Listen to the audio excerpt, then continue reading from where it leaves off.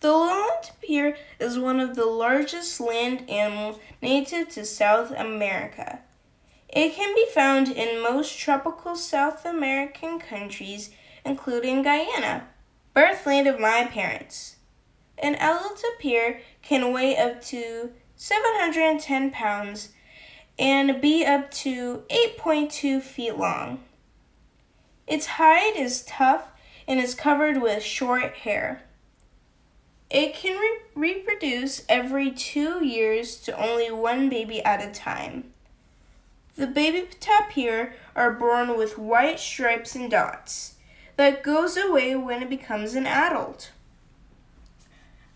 Out of the four species, the lowland tapir is the only one to have a large, stiff mane from head to shoulder.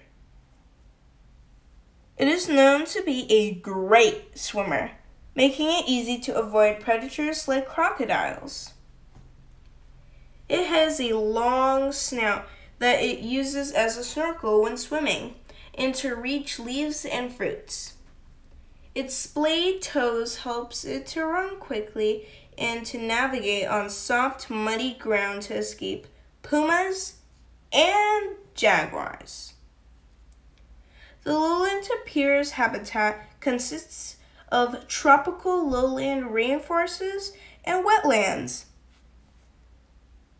It can sometimes be found also in seasonal dry places, but it really prefers to live in hot, humid, and rainy climates. The lowland tapir is a herbivore. It eats fruits, leaves, grass, and twigs. But banana is its favorite. Some fun facts about the tapir are it can talk to others by whistling. It can actually wiggle its snout. A baby tapir can swim when it's only just a few days old.